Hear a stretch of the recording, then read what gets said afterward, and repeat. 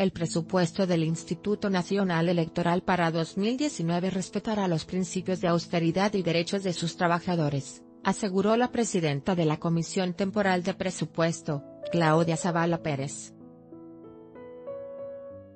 Al instalar los trabajados de la comisión, la consejera aseguró que la elaboración del proyecto será responsable, tanto con la austeridad como con las responsabilidades del instituto, entre las que destacan la expedición de la credencial de elector, la organización de cinco procesos electorales locales y la promoción de la cultura democrática. Lee también, Marco Cortés buscará unidad una vez que inicie el proceso de renovación los gastos de operación serán los mínimos e indispensables y, las remuneraciones de las personas que prestan sus servicios a este instituto, en todos sus niveles se ceñirán estrictamente lo que establezca la Constitución, las normativa vigente y los recursos que nos sean aprobados en su momento y, se asignarán con base en las competencias laborales, experiencia acumulada y niveles de especialización y decisión en el quehacer electoral.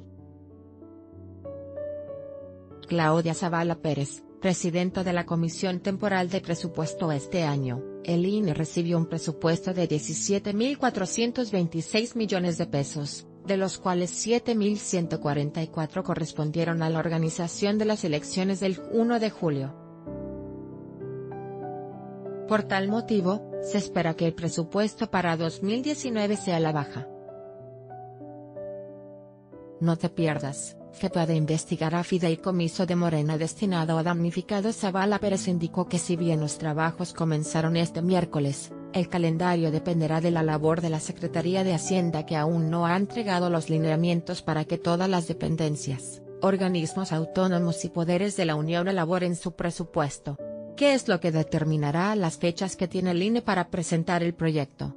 Unos lineamientos que debe de presentar la Secretaría de Hacienda y Crédito Público, en donde da elementos, guías y bases de todos los presupuestos. La Secretaría de Hacienda los emitirá cuando tenga que hacerlo, y a partir de eso tendremos las directrices generales que a todas las dependencias y poderes guían para la elaboración del presupuesto, indicó. Lo importante de estos lineamientos es que ahí se establecen cosas como el precio del dólar o la inflación. En el caso del precio del dólar es importante para el INE ya que los contratos de producción de las credenciales para votar están tasados en la moneda estadounidense. Lee más, México PRD analiza su propio plan de austeridad. México delinea en la ruta para la reducción de los salarios. Sociedad INE instala comisión de presupuesto y promete austeridad